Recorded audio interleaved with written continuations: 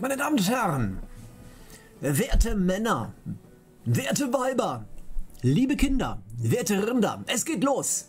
Gilgamesch, ich sag's dir ganz offen.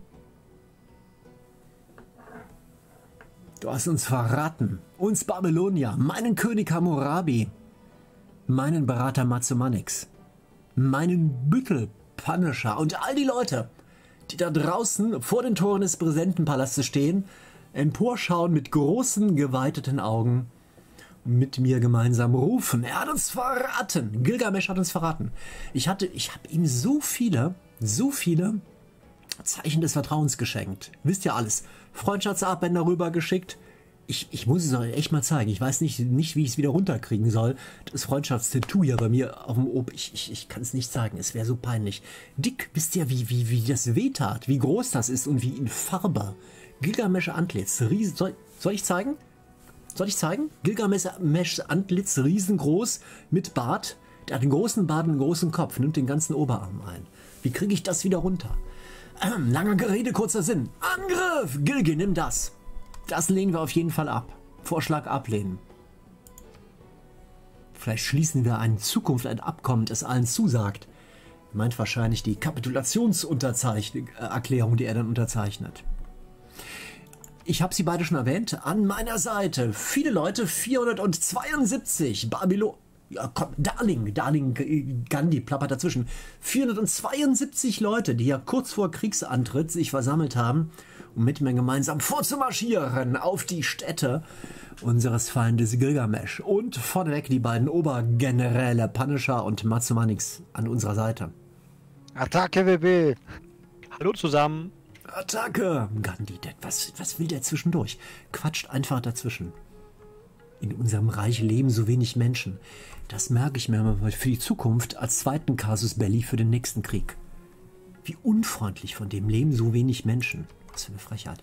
In unserem Reich werden gleich mehr Menschen leben. Wir vergrößern es jetzt nämlich. Und wir sind großzügig. Es gibt Leute, die sind fremdenfeindlich. Die sagen, Leute, das geht nicht hier. Die sind nicht, was weiß ich, bio-babylonisch. Ne, es kommt nicht auf den Passe an, angeblich, es kommt auf das Blut an. Wir sind da ganz anders. Ich finde sowas faschistisch. Wir sind ganz anders. Wir sagen ganz offen, wir erobern die ganze Welt und alle Bürger werden dann, egal woher sie kommen, werden dann gleichberechtigt unserem Herrscher dienen dürfen. Also wir sind da ganz anders aufgestellt. Viel freiheitlicher. Jeder, der Hammurabi dient, ist genauso viel wert wie der andere. Das sehe ich ganz ehrlich so. Naturkatastrophe tritt auf, ein starker Schneesturm. Autsch, das tut weh. Ich unterschätze den Wert militärischen Wissens nicht, aber wenn Männer sich bei der Kriegsführung sklavisch Regeln unterwerfen, werden sie scheitern. So, Saphus, liebe Grüße an dich und danke dir. Sieben Monate Abo, danke. Ähm, Flankierungs- und Unterstützungsboni im Kampf heißt, wenn zwei Einheiten nebeneinander stehen, offensiv, Flankierung, kleiner Kampfbonus. Wenn wir angegriffen werden, zwei stehen nebeneinander, Unterstützungsbonus. Ist dasselbe Prinzip. Ab jetzt nutzen wir diese passiven Boni. Generalspunkte könnten wir uns holen und Kavallerieeinheiten schneller produzieren. Bevor wir reingehen, schauen wir uns Folgendes an. Die Freundschaft ist abgelaufen mit Gilgi und es ist uns Schnuppe. Dann ein heftiges Unwetter hier unten. Wie gut ist, wir da noch keine Stadt gegründet haben. Wir haben ein Versprechen gebrochen gegenüber dem Sumerischen Reich, das Versprechen, unsere Truppen in der Nähe zu halten. Wir brauchen jede Menge Annehmlichkeiten. Ein Blick in die Stadtübersicht zeigt uns an, dass es Bürger gibt in unserem Reich, die im Augenblick unzufrieden sind. Ich weiß warum, weil wir immer noch nicht den Krieg erklärt haben gegenüber Gilgi. Da murrt das gemeine Volk. Das werden wir ändern gleich. Das gibt Annehmlichkeiten. Propaganda gibt immer, immer Annehmlichkeiten. Bevor wir in die Regierung reingehen, schauen wir mal, ob wir auf den letzten Metern Gilgi hat er wieder Geld, nicht nur irgendwas abnehmen wollen. Er hat schon wieder 23 Gold, das sollten wir nutzen.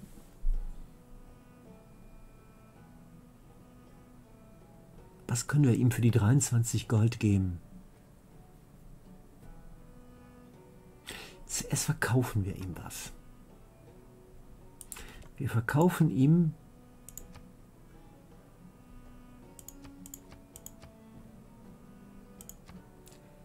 fünf Gunst für 23 Gold.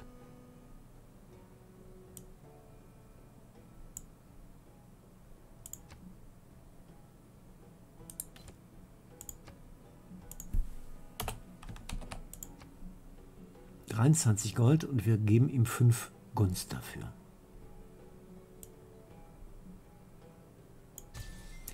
Dann gehen wir wieder in die Abkommen rein. Und dann holen wir uns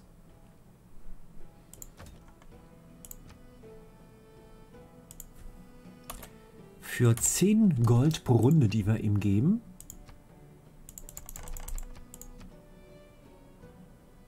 für 9 Gold die Runde noch mehr Gunst zurück.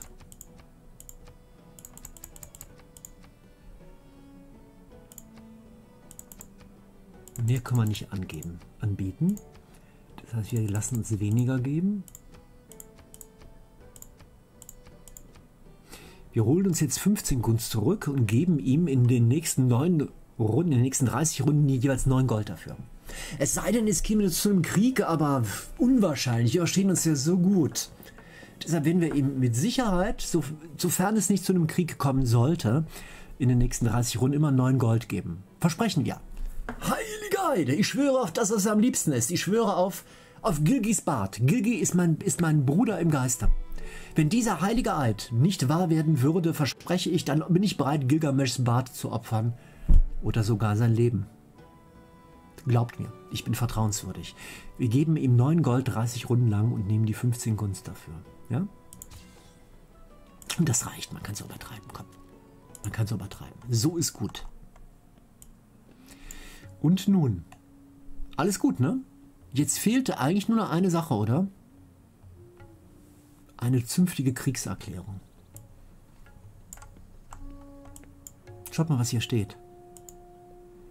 Ein sumerischer Handwerker mit drei Aktionen. Anders formuliert, Skla äh, die Sklaven ist so hässlich. Das, das, das, komm, ähm, Leute, die bereit sind, uns frei, Leute, die sich von uns befreien lassen wollen, die nicht länger leiden wollen unter der brutalen Herrschaft ihres äh, Königs Gilgamesh, den sie verehren. Ach Gott, aus der Nummer kann ich mal raus. Erstmal Angriff. Ihr seht, es sind drei, also drei Aktionen, ein Handwerkertrupp und da einer mit einer Aktion gibt vier Aktionen in Summe. Jetzt heißt es aber erstmal. Jetzt gehen wir erstmal auf, auf Nummer sicher, falls Gandhi uns nicht mal leiten kann danach und verkaufen ihm die Gunst, die wir gerade uns geholt haben.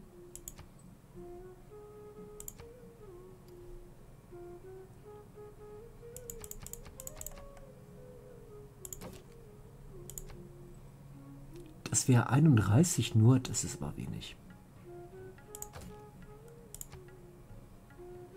31 durch 7? Mir so wenig vor. Und eben war 1 zu 5, das heißt, wir werden eigentlich 7 mal 5, 35 und das wären, doch ist okay, kann man machen. Vielleicht gibt er sogar noch mehr, oder? Das heißt,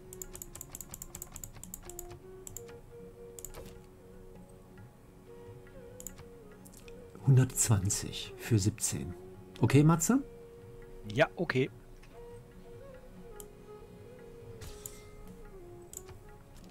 So. Jetzt erklären wir Gilge den Krieg. Ach was, ich, da brauchen wir gar keine großen Worte für. Gilgi, Freundschaftsarmbänder zurück, aber zack, zack, zack, zack. Und wenn das nicht schnell geht, dann holen wir uns zuerst die Hand, die sie trägt. Und dann das Band in einem.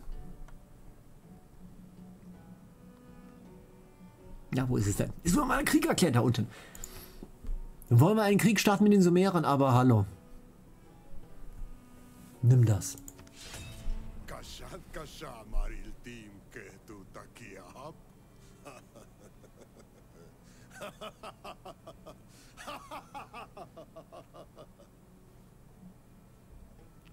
Boah, ist das cool animiert. Ich habe seit Ewigkeit nicht mehr eine Sumeran gespielt. Das sah doch super cool aus, oder? Die Handbewegung und dieses arrogante Spe Oh Gott, sieht der, sieht der bedrohlich aus. Schnell weg. Das kann ich mir nicht lange angucken. Das war super cool gemacht.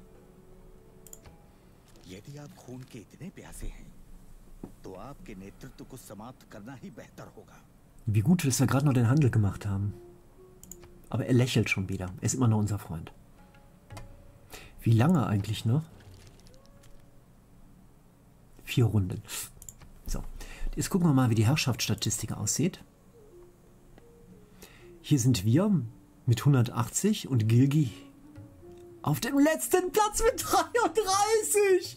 Das ist, weil Mulan weg ist. 33 Punkte. Ja, was für ein gutes Timing. Der Ärmste. Das ist ja unfassbar. Mit Essen Bad wischen wir jetzt das Blut von unseren Stiefeln. Das ist ja großartig. Das ist ja zauberhaft. Der war uns haushoch überlegen. Haushoch. Ja, ja. Wunderbar. Wunderbar, ich bin total begeistert. Die 33 Punkte seien die Handwerker, Witzel Dorenchen. Fieser Humor. Unglaublich. So, ähm, einmal gucken gehen, wie es hier aussieht. Wir können nicht feuern, weil ja keiner steht. Einmal hier hin. Und jetzt sollten, können wir hier hin feuern? Nein. Ach, guck mal, Matze. Das sind immer diese doofen Regeln. Wir können noch nicht mal feuern. Von hier. Bescheuert, ne? Weil die Stadt auf einer Ebene liegt und der Regenwald äh, zwischen uns auch auf einem Hügel ist. Anscheinend. Wir hatten ja drüber gefachsimpelt eben und waren uns sicher, es geht. Ich hätte ja eher gedacht, wenn die unter uns liegt, kann man auf die runterfeuern. Das, man kommt da nie hinter, ne? Immer wieder neue Überraschungen. Das ist echt schwierig. Also dann würde ich vorschlagen, gehen wir in Richtung Norden auf die Hügel. Ja, wir ziehen hier erstmal eins vor, zwei vor. Man kann sich auch daneben stellen, das geht auch.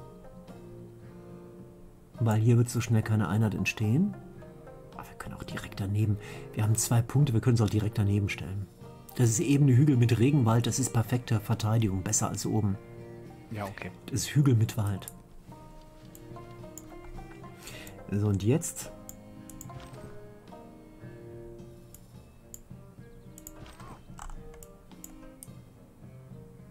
Na, das dauert doch länger mit Biowolf. Wir haben den Bonus.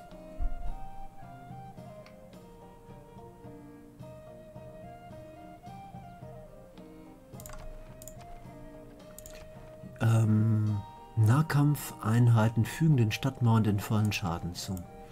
Das ist hier relevant. Wir ziehen, wir können direkt angreifen. Wir ziehen einmal hier hin. Wir ziehen mit ihm hier hin.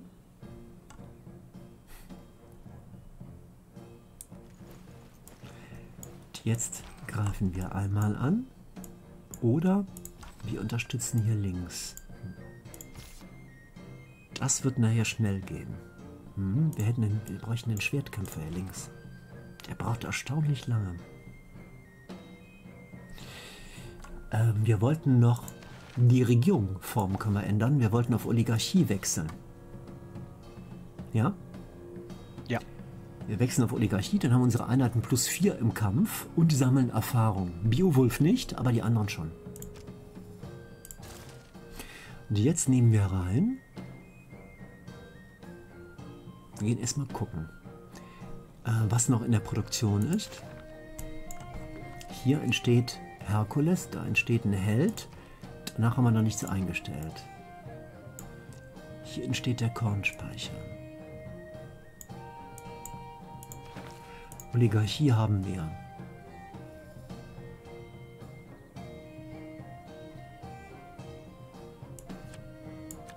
Ich sehe keine Militärkarte, die uns auf jeden Fall nutzt. Dann können wir auch Agoge drin lassen für den Fall des Falles.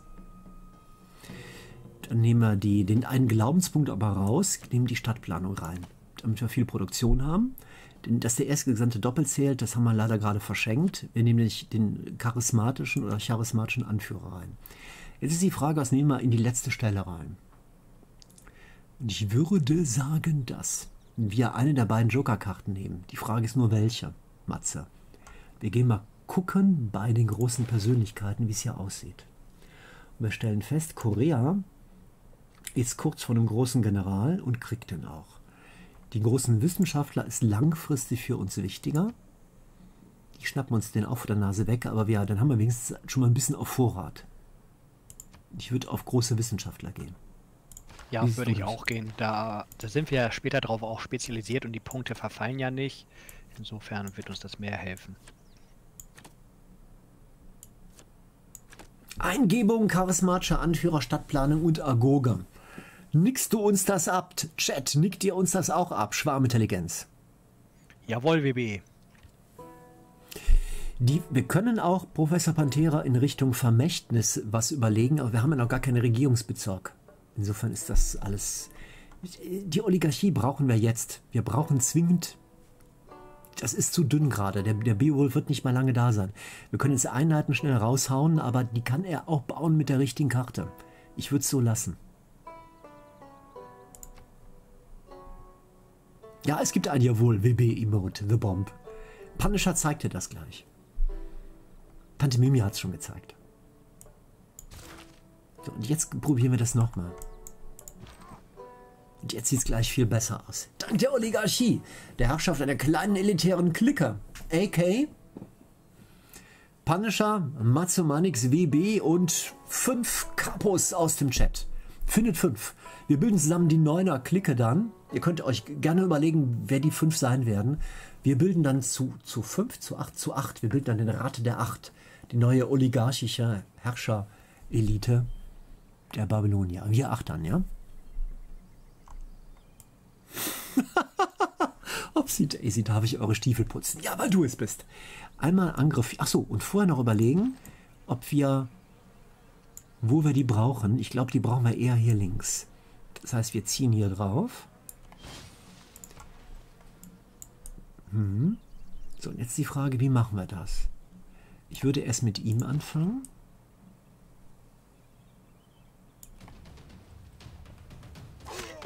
Übrigens, habt ihr gesehen? Schaut mal, das Herzsymbol hier. Die Stadt heilt nicht aus, die ist belagert.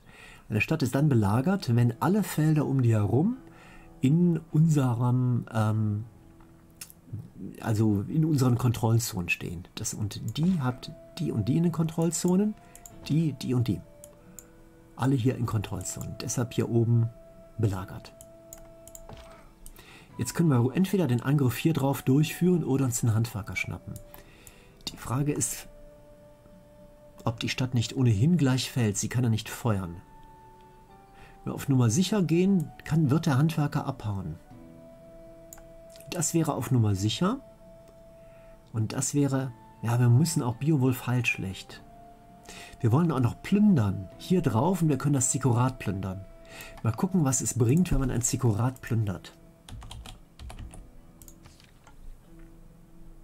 Gold. Matze, was meinst du? Hier rüberziehen, nächste Runde Zikorat plündern? Dann müssten wir wahrscheinlich erstmal einmal angreifen. Was meinst du? Ah, ja, also plündern würde ich schon sehr, sehr gerne, tatsächlich. Auf der anderen Seite, Beowulf heilt ja nicht, ne? Und mit dem noch vielleicht gleich weiterzuziehen er in Richtung heil, Norden. Er heilt schon. Also nicht so, Entschuldigung, er heilt, aber nicht so schnell. Also, ne, wir, wir er kann nicht Beförderung. angreifen. Er kann nicht Genau. über eine Beförderung heilen, ja. Das meinte ich jetzt. Wir, gehen genau. mal, wir setzen mal drauf, ja. Wir lassen, wenn wir das Gold hier weg haben, wenn wir, wenn wir hier Gold, viel Gold abplündern können, können wir hier zum Beispiel den, den, das Monument kaufen, den Kornspeicher, was auch immer. Ich setze mal drauf, dass wir das ähm, gleich so viel Gold bekommen, dass wir hier einen Kornspeicher kaufen können. Da setze ich mal drauf. Dann wechsle ich mal hier die Produktion schon mal aus auf Monument. Weil das, der Kornspeicher ist wichtiger. Und ich setze drauf, dass wir uns den gleich kaufen können nachher. Egal wo, das werden wir schaffen. Ja? Hier wollten wir runter und wollten hier oben. Genau. Einmal hier rein und nachher gehen wir weiter Richtung rechts. Also die Frage ist halt, was meint ihr, was meinst du? Bezüglich der Plünderfrage. Mhm. Ich würde plündern tatsächlich. Wir können ja die Stadt gleich auch nochmal mit der Einheit nördlich ähm, von Iridu mit angreifen, mit unserer Spezialeinheit und mit Beowulf. Und damit ähm, haben wir sie auch sicher und hätten dann somit auch noch die, den Goldbonus jetzt mit.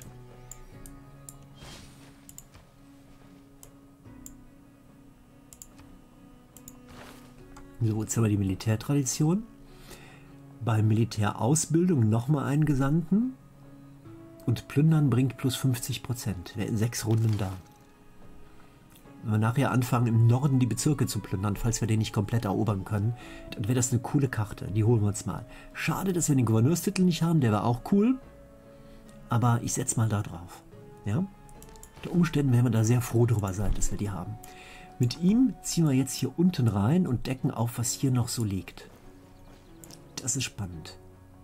Hier ist eine Stadt mit einem Handwerker ohne Stadtmauer.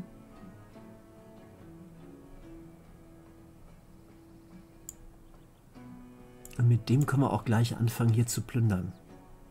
Zum Beispiel. Wo, das ist die Loyalitätskarte. Wo sind noch Städte? Hier im Norden ist keine. Das müssen wir also nicht aufdecken.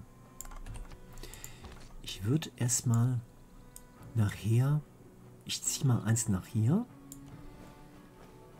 Und dann können wir uns immer noch überlegen, in welche Richtung wir ziehen. Wir haben Krieg und wir haben Krieg. Alles okay so? Eine Runde weiter? Ich denke ja, ne? Eine Runde weiter. Wie lange lebt, lebt Beowulf noch? Acht Runden noch. Nach dem Rundenwechsel noch sieben Runden. Sieben Runden noch. Eine Stadt hat eine Stadtmauer, Isin hat eine Stadtmauer. Ja, stimmt. Dann werden wir wohl eher hier rüberziehen oder aufpassen müssen. Wer hat aufgepasst? Pizza, Pasta, Trompeten. Sieben Runden noch mit Beowulf für uns. Eine Runde weiter. Die Stadt feuert auf uns, feuert auf den Bogenschützen, hätte ohnehin. Hier, hätten wir, hier hatten wir aber die beste Deckung für ihn. Irgendwo steht ein unbekannter Spieler baut Machu Picchu. Und wen haben wir entdeckt? Achtus, Ritterschlag Achtus. Den Herrn der Tafelrunde. Entdeckt wo? In unserer Hauptstadt. Das war ein Bauprojekt. König und Begründer der Ritter der Tafelrunde, bekannt für seine, für seine Tugend und Ritterlichkeit und seine Cameo-Auftritte in Monty Python, Python-Filmen. Steht das da? Bin mir nicht ganz sicher. Arthurs Ritterschlag visiert eine angrenzende Landmilitäreinheit an, die ihr kontrolliert. Arthur verwandelt die Einheit in einen Queste-Ritter, eine einzigartige schwere Kavallerieeinheit mit erhöhter Kampfstärke und zwölf Dauer Lebens, Runden Lebensdauer. Kostet eine Ladung. Das ist der. Und jetzt ist die Frage, wie stark ist der Queste-Ritter? Das bekommen wir am besten hier. Ich hoffe mal durch einen Link das nicht. Jetzt suchen wir hier oben mal den Queste-Ritter. Da ist er. 34 Nahkampfstärke. Das ist schon eine Menge. Wie stark sind unsere stärksten Einheiten im Augenblick? 34 Runden, 34 Lebensdauer. Ein Schwertkämpfer 36. Naja, es ist cool, aber es ist nicht sensationell. Das ist leichte Kavallerie. Der schwere Streitwagen hat 28, das, der kommt ein bisschen später, Artus. Wenn wir Glück haben allerdings, hey Leute, das ist Quatsch. Wir sind doch mittlerweile eine Epoche weiter. Das heißt, auf jeden Fall ist er kampfstärker, wenn er im direkten Kampf ist. Wenn wir Glück haben, ist auch der Queste-Ritter schon stärker. Weiß das jemand, ob der Queste-Ritter, die Helden skalieren in ihrer Kampfkraft, aber auch in ihren Boni, haben wir gelesen. Im Laufe der Epochen. Gilt das auch für den Queste-Ritter? Weiß das jemand? Die Kampfstärke stärkt bei den Basishelden, das wissen wir, das ist klar. Steigt hier auch mit den Queste-Rittern an. Also nicht, dass einer spekuliert. Bitte, weiß das jemand? Die Betonung liegt bitte im Wörtchen wissen. Juhu, weiß das jemand? Matze, du weißt es auch nicht, ne? Ich weiß es auch nicht. Nee, ich hätte mich sonst gemeldet. Also tatsächlich habe ich das noch nicht ausprobiert mit König Artus. Es gibt dafür zu viele Helden und tolle Sachen, die wir gemeinsam erkunden wollen. Einer meinte, er wisse es. Ein oder eine Cyan Lorex Dreams. Die Kampfstärke der Queste-Ritter steigt. Ja, aber sind da zwölf Runden weg, genau. Machen wir ein Safe Game, finde es raus. Keine Safe Game Sachen beim Livestream und Laden. Wir könnten Sabum Kibitums in Queste-Ritter verwandeln. Jetzt wird spannend. Der heilige Bulle hat es geschrieben. Also nicht der heilige Bulle, der heilige Bulle. Das ist eine interessante Überlegung. Die, die, die Sabum Kibitums als Wegwerfeinheiten die wir für nichts im Handumdrehen gebaut bekommen und die dann umwandeln in Queste-Rittern. Das ist eine interessante Überlegung. Es kommt ja nicht nur darauf an, was bekommen wir, sondern auch, was verlieren wir. Und wenn das, was wir verlieren, sehr wenig ist, ist das, was wir bekommen in der Differenz, noch viel mehr. Das ist eine gute Überlegung. Das ist eine spannende Überlegung. Achtus irgendein Jahr, das ist eine coole Überlegung. Irgendwo seine Mauer entstanden. Wo denn? In Kisch? Das kann sein. In Isin? Nee, wo ist denn eine Mauer entstanden? Ich weiß nicht, was, was er jetzt gerade meint. Äh, Weltwunder entstanden, klar. Hier ist willkommener Regen. Ein Unwetter, das irgendwo wütet. Wir haben Achtes entdeckt. Danke, ich weiß Bescheid. Wohnraum wird hier benötigt in Maskan Sapir. Wer hätte das gedacht? Ein Bürger ist da. Und hier werden auch Heldensagen erforscht.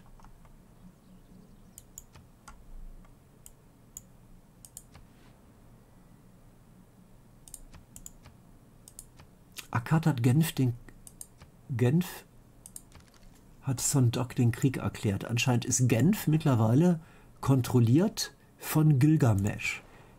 Die liegen aber von uns weit weg. Das ist nicht schlimm. Mit Genf sind wir jetzt im Krieg. Da gibt es Schlimmeres. Und ansonsten mit keinem. Alles gut. So. Jetzt wieder hier hin. Okay. Und jetzt wählen wir die Produktion in Babylon. Jetzt haben wir zwei möglich eine Möglichkeit. Wir hauen weiter sinnlose Einheiten raus. Handwerker erobern wir gerade in irrem Tempo.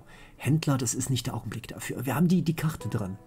Wir haben die Karte drin, dass wir einfache Einheiten viel schneller bauen. Das sollten wir gnadenlos nutzen. Die Frage ist, wofür? Wir haben in gleich 20 Eisen brauchen wir für einen Schwertkämpfer. Das heißt, wenn wir anfangen, den Samum Kibitum zu bauen, wird uns daher umgewandelt in einen Schwertkämpfer. Der kann uns auch nutzen, der ist mal langsam. Oder wir bauen noch mehr Bogenschützen. Wenn wir jetzt einen Bogenschützen noch gebaut haben, der ist auch schon angebaut, ne? Ne, der ist noch nicht angebaut. Haben wir ein oder zwei Bogenschützen? Einen. Einen. Bogenschütze oder Sabum Kibitum wir checken das mal hier vor Ort. Wir gucken mal, was der Bogenschütze hier bewirkt gerade. Nichts. Der bekommt nur XP, wenn er drauf feuert. Also gegen Stadtmauern sind die Quatsch. Und gegen Landeinheiten haben wir im Augenblick Biowulf und sind auch so. Guckt euch das mal an. Gilgamesh 36, wir 168. Was würdest du für eine Landeinheit machen? Schwertkämpfer also, oder Bogenschütze? Wäre das der dritte Bogenschütze für nee, uns? der zweite. Also ich würde tatsächlich noch einen zweiten Bogenschützen uns besorgen, damit wir dann nur noch einen brauchen, wenn wir den Boost haben wollen. Dann sind wir da vorbereitet. Eine Alternative wäre noch ein Speerkämpfer. Ich meine, dass es auch einen Boost gibt, wenn wir Einheiten mit einem Speerkämpfer töten. Ich weiß leider nicht aus dem Kopf, welcher Boost das ist. Militärtaktik. Ja, okay. Dann hätten wir Pikeniere zur Verfügung und könnten das Huite Kuteokali machen. Dann schleppen wir einen Speerkämpfer mit, weil wir werden ja demnächst höchstens nicht mehr höchstens mit Barbaren kämpfen, bauen den Speerkämpfer und schleppen ihn mit und setzen drauf. Oder wir gehen erstmal auf Nummer sicher, weil die entscheidende Einheit für den Angriff auf Städten ist der Schwertkämpfer. Der haut die, die, die Leute weg. wir wissen nicht, ob das reicht mit Biowolf. Ich würde erst noch einen, einen äh, Schwertkämpfer und den mitschleifen. Sicher ist sicher. Ja, und lass uns einen, einen weiteren noch bauen. Ich glaube, das macht Sinn. Ja, und den bekommen wir über den Sabum Gebittum. Der wird in drei Runden, ah, in drei Runden ausgewechselt in ein Eisen plus zwei. Das heißt, er wird vorher noch fertig sein. Ist egal, dann hauen wir noch einen Sabum. Dann machen wir das so, dann bauen wir den, den Bogenschützen jetzt doch. Der ist doch in zwei Runden fertig, oder? In zwei Runden? Ja, der Sabum Kibitum ist zu früh fertig. Ich hätte gern lieber statt des Sabum Kibitums jetzt einen äh, Schwertkämpfer. Ah, so, und der Schwertkämpfer okay. steht uns zur Verfügung in drei Runden, weil dann haben wir die 20 Eisen, die er braucht. Der Sabum Kibitum wäre vorher schon fertig. Dann stellen wir jetzt den Bogenschützen ein. Also die Alternative wäre natürlich, den Sabum Kibitum zu bauen und dann äh, aufzuleveln mit Gold zum, Speer, äh, zum Schwertkämpfer. Der ist dann halt deutlich früher da schon. Wie teuer ist der denn? Einsetzen. Ja, 160 Gold. Nee, das, das ist mir zu teuer. Wir haben ja auch Samum Kubitums vorne an der Front, die können wir auch aufleveln. Ähm, okay. Wir fangen mal mit dem, oder Bogenschütze, Speerkämpfer. Ich fand die Idee mit dem Speerkämpfer eigentlich sehr hübsch. Wir bauen den mal an und können nachher auf Sabum Kubitum umsteigen. So, und jetzt leveln wir hier einmal auf durch einmal drauf feuern, um XP zu bekommen.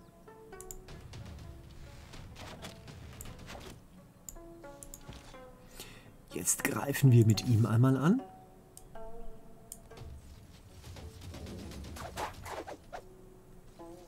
Jetzt greifen wir mit ihm einmal an. Oh, das tut weh. Aber danach ist die Stadtmauer fast weg. Wir machen das.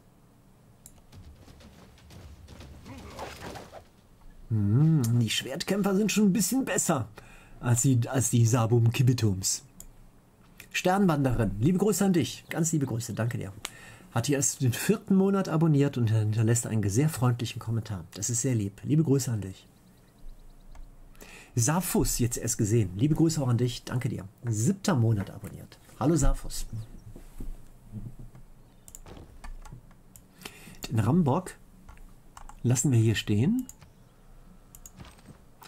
So, jetzt sind wir hier. Jetzt überlegen wir uns gut, in welcher Reihenfolge wir das machen. Hier wollten wir einmal plündern, das gibt 135 Gold. Wenn wir das nicht machen, dann ist die Stadt fast eingenommen und er hat immer noch genug Kampfstärke. Der hier wäre fast drauf. Nee, der könnte auch schwächen. Dann wird er in die Stadt reinziehen. Er kann hier plündern, aber das wollen wir nicht. Distriktplünder nicht. Ich wäre, äh, da hätten die Mine plündern können. Kann er die, nee. Ich würde es, wir schwächen ihn ein. Ja, wir kämpfen einmal mit Biowulf. Aber ich glaube, ich würde Biowulf schon ein Feld nach oben schicken.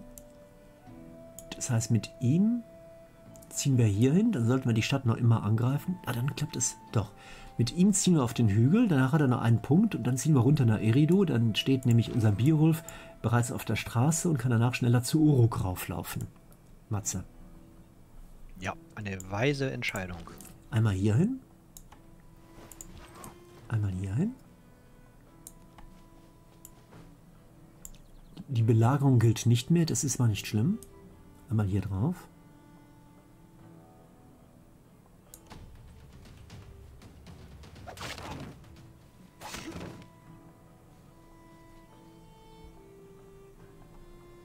Einmal. Und er schafft es im Alleingang, oder? Oh, das ist nicht ganz klar. Guck mal hin. Schafft er das? Es ist mir nicht ganz klar. Aber ich glaube, dass der schafft das. Hier ist die Anzeige auch nicht anders. Hier wird einmal geplündert. Und mit den 293 Gold machen wir was? Hier vor Ort kaufen wir jetzt den Kornspeicher.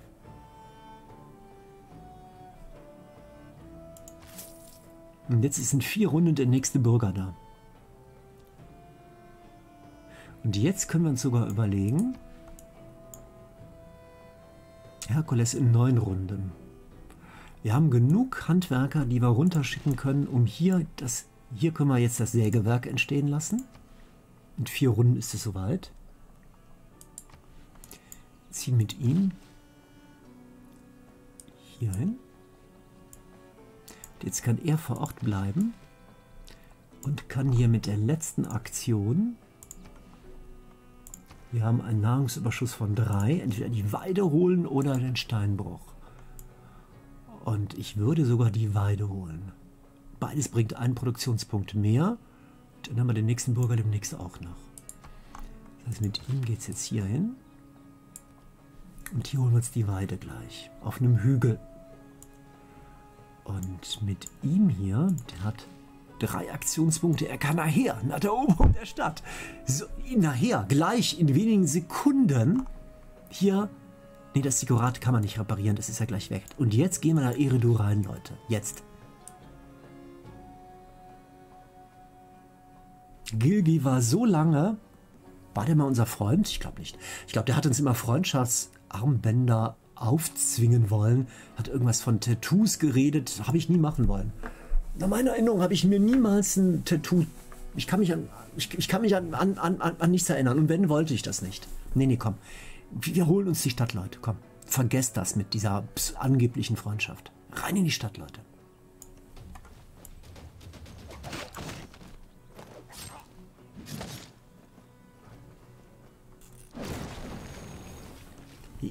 Ja, nimm das. Vertraue niemals einem Babylonier und vor allem niemals Hammurabi und vor allem niemals seinem greisen bisweilen auf weisen Berater, der ihm immer ins Ohr flüstert, Hammurabi, glaub mir. Schenke niemandem deine Freundschaft. Geschafft. Sehr schön. Erido, gehört uns, die erste Beute und nicht die letzte. Ich weiß euch, blühende Landschaften, die wir rauben werden, in die wir reinmarschieren werden. Wir hinterlassen natürlich keine blühenden Landschaften mehr. Und wir gehen immer weiter. Wir marschieren jetzt hoch mit unserem Helden. Rauf! Richtung zur Hauptstadt. Wir wollen nämlich das Herz des Reiches, wo einst Mulan rekrutiert worden ist, die mörderische Mulan. Diese Möglichkeit, sie erneut ins Leben zu rufen, wollen wir Gilgi für immer rauben.